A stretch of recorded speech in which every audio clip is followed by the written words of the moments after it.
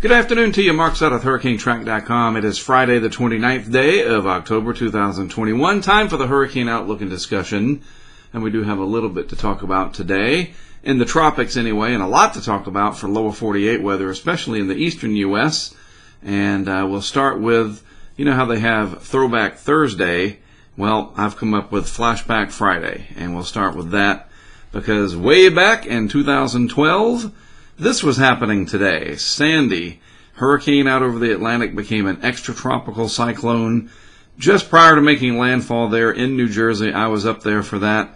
Met a lot of fine people that I have worked with ever since, some of which were helpful this year during uh, Henri up on Long Island. It's amazing how those connections can pay off later on down the road. I show you this not just for the old Flashback Friday, uh, moniker that I just made up for this presentation today, but also because just look at the satellite presentation here. This is what Sandy looked like uh, around this time in the afternoon, actually back on October 29th of 2012. And then let's look at this. And you say, oh, you got a satellite animation, but it's not moving the, the, the correct direction, if you remember. Well, no, because this is Invest Area 94L today and it is not a, an extratropical hurricane or whatever. It's just 94L. And I look at the two and I go, hmm, deep convection around the center of 94L, Sandy, you know, more organized, certainly, uh, but it was inside this larger envelope, if I can circle it and it shows up better. Come on. You know, they're similar, all right? So I'm just not sure when we look between the two why, when I read this, that it says um, that it may lose its associated fronts because I'm trying to find those fronts on the satellite imagery here. Maybe it's this one down here, maybe that one. I don't know. There's, it certainly is close to looking the subtropical to me, and it's over marginally warm water. We'll see what happens, but so far, National Hurricane Center keeping the odds of development at 30% over the next five days. But I got to tell you, that's a pretty close approximation between the two there, comparatively speaking. Uh, this even has some thunderstorms and some deep convection and lightning way off to the east of the center of low pressure there over the North Atlantic. And now, before you go on saying, well, what does it matter? It's not affecting land. Well, it matters to all the ships that are out there you know, and you got the sword fishing fleet that comes out of the northeastern U.S. doing the long line fishing, container ships, you name it. It is definitely of concern to mariners, and so it matters. Now, the name part, whether it's subtropical storm Wanda or just 94L or a big gale center over the North Atlantic, no, that doesn't matter except to us who like to label things, us human species or whatever, right? But I just thought I would compare the two for you as we start off today's discussion. Also, I was a little curious to see that National Hurricane Center did not mention any area off the coast of Africa here, because if we go back to the satellite animation there, kind of gave you a sneak peek, there's 94L. Look at all that. You know, it's like, whoa, if this was earlier in the season, August or September, we would be thinking, hmm, something's going to try to develop out there definitely sort of this monsoon trough that has set up an area of convergence where the air is coming together at the surface, a little bit of broad rotation overall. And the only you know issue, I guess you could say, is well, it's the end of October. You had your chance, but still kind of interesting to see. Uh, very much related to the warm water temperatures that reside down in this area. Uh, often referred referred to not we don't hear it much, but it's referred to lately much more often, if that makes any sense at all, of the Atlantic Nino, the abnormal warming of the tropical Atlantic out here near the equator, um, which is just down here, by the way. So interesting that we have that out there. No mention from the Hurricane Center just yet. Maybe it gets a mention eventually. The rest of the tropical Atlantic, Caribbean Sea, Gulf of Mexico, generally nice and quiet, although some pretty brisk winds blowing across the Gulf in association with this big upper level storm system here and the wind that is funneling around the east and southeast side of this, pushing the Chesapeake Bay into an area that's causing some problems. I'll show you that more in just a moment. So again, here is 94L. I guess there's still just enough energy around it that it is not designated as a subtropical storm by itself just yet, but again, it is awfully close in my humble opinion. Uh, a little bit of energy out here in the tropical Atlantic, not much at all in the Caribbean or the southeastern Pacific, just a few areas of vorticity. Speaking of vorticity, that is a lot of energy all spread out over a huge area. So you've got this big windstorm, especially in the eastern parts of it over here. Pretty windy in my backyard, blowing the leaves off of the trees. We've seen some high winds up in the Appalachians here. Evan Fisher, uh, the meteorologist up there out of Asheville and vicinity, posting some really neat video that I retweeted earlier today.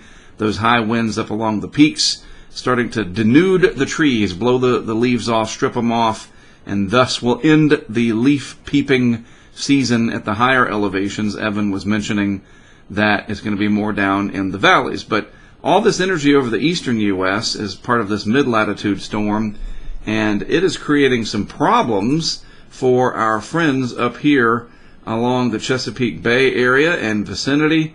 Look at that flash flood, coastal flood, even a storm warning right there along the Jersey coast. Fitting, I guess, that you had the same thing, except it was a hurricane warning uh, back in 2012.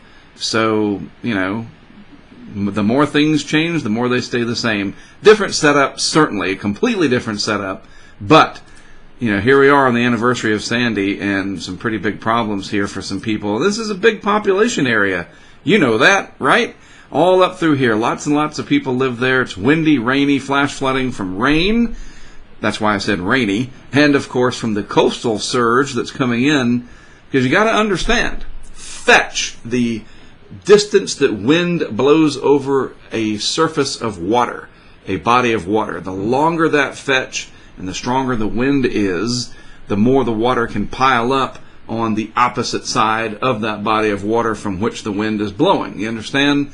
And the fetch down here is just enough that it's piling in the water there and creating some problems both from the Atlantic, shoving the Atlantic right up into the bay, and various bays, Delaware Bay and the Chesapeake Bay, and we're getting some tidal flooding. I'll show you an example of that in just a moment. So if you live up in this region, uh, this is the reason. There's this big storm, and hopefully everybody's aware of it, tuning into their local social media of trusted sources, etc. TV meteorologists, you name it. Make sure you're on top of this. And if you're traveling up there today, tomorrow, through the weekend, uh, it's going to be rather nasty. So please keep that in mind. I can show you on the radar here from um, Mark Nissenbaum's radar site out of Florida State University. And here's some of those uh, feeder bands, if you will. Not technically, but that's just what I'll call it. Bands of rain, we'll just say that. And it is kind of trying to feed this storm, but it's not the same mechanism as a tropical cyclone, so I don't want to get too confusing there. But that is a lot of energy working its way with the uh, uh southerly and southeasterly flow, shoving the Delaware and Chesapeake Bays up against the land, and the result is this.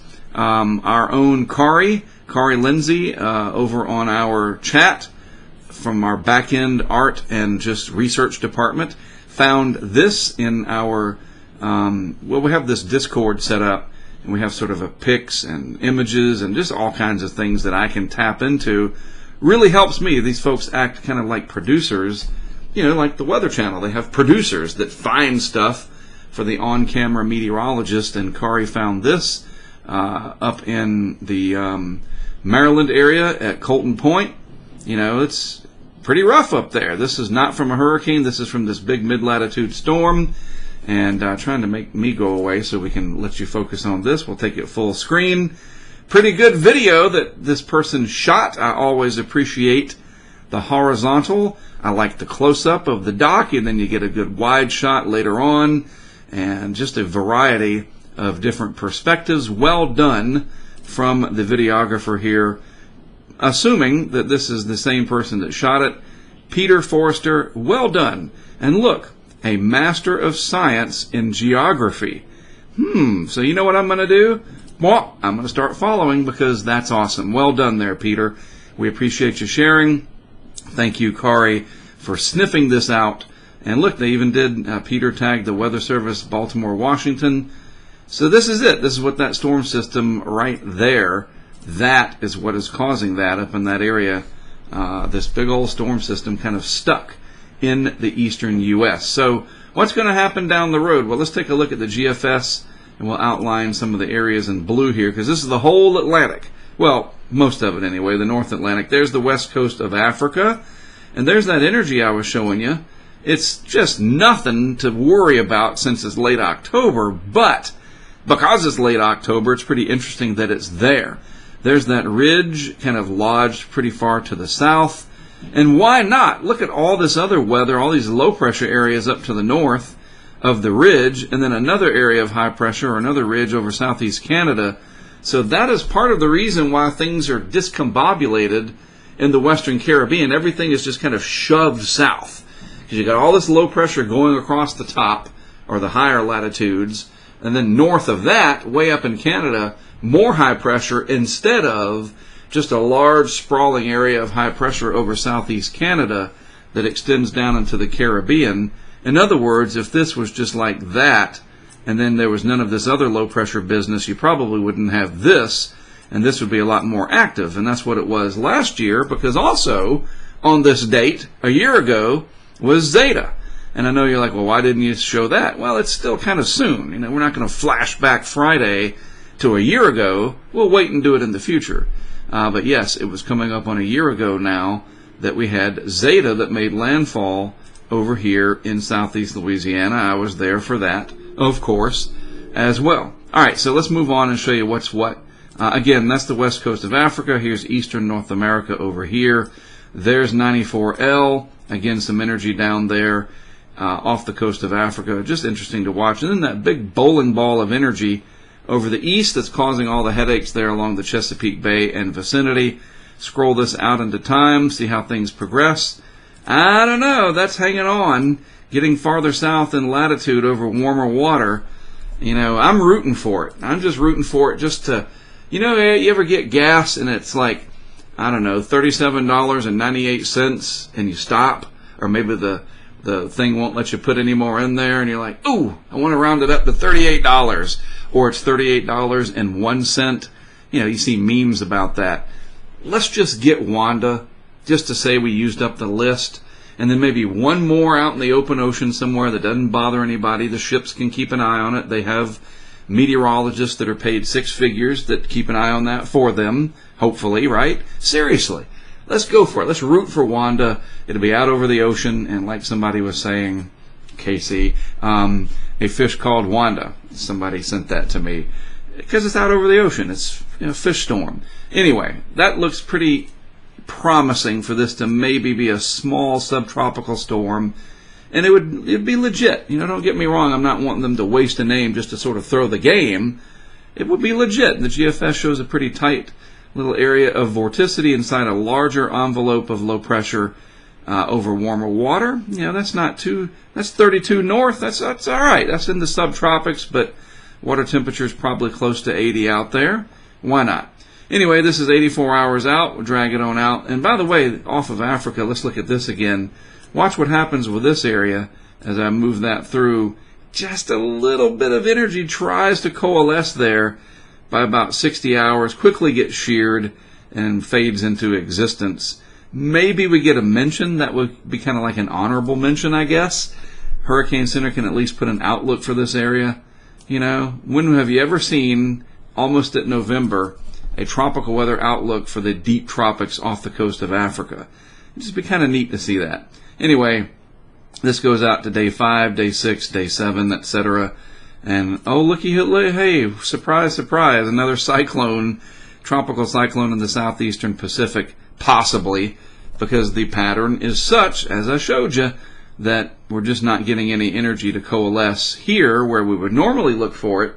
Instead, it's finding favorable, uh, favorable, a favorable environment in the southeastern Pacific instead. So that is a look at the tropics. Now, if you are watching, and you are one of our current supporters on Patreon, tied in with our Hurricane Track Insider site, tonight is a very important night. We are having, I'm going to host, and then we will all be there together, a Zoom meeting with all of us, all the tiers, everybody on Patreon that's available. I don't know it's Friday and you might be wanting to go out and see Dune or something else at the theater or there's football or whatever else. Look, I get it. But if you're sitting around with nothing to do, jump in. I've sent you a link on Patreon. This is exclusive to our patrons, but our patrons watch these videos because that's how a lot of them became patrons. They found out about me through a video just like this. Usually it's during the height of hurricane season, but I digress. Tonight, very important, we're going to talk about what's coming up for 2022, some really big ideas that I've got I want to share with you, including opening up Discord. We've been testing it with a handful of people, maybe opening up it further to other folks on Patreon and the Insider site, and just other things. You know, it's kind of an end of the hurricane season, one month to go.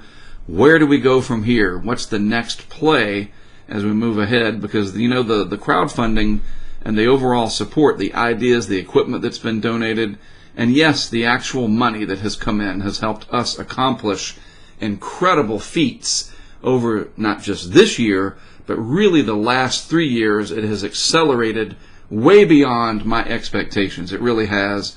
And I want to be able to grow that further. And tonight we're going to talk about that. So uh, check your Patreon. If you hadn't been on in a while, you should see the post. And it's this evening, 8 p.m. Eastern Time. I will put the meeting on YouTube when we're done. I'll put a little intro on it, edit it together, and show you what we talked about in the general social media world because I want you to see. I want you to see what we're going to be doing as we go forward. And of course, we're on Twitter, whatever this is called now. it just kills me. Like we're going to just call it Meta or what? I don't even know. I'm just going to ignore it. Um, yeah, Facebook's big and powerful, but sometimes I don't understand. YouTube, though, has been pretty good over the past couple of decades, right? Or almost. Uh, Valentine's Day 2005, YouTube went live. And then if you want to get on Patreon, that's how. Aim your smart device at the QR code or go to patreon.com slash hurricane track and you can become a part of it. It's not just during hurricane season. No, no, no, no, no. We got a lot of stuff planned.